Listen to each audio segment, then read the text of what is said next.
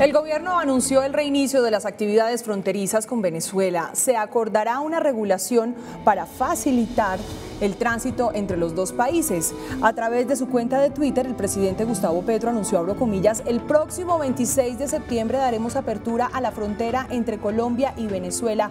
Como primer paso se reanudará la conexión aérea y el transporte de carga entre nuestros países.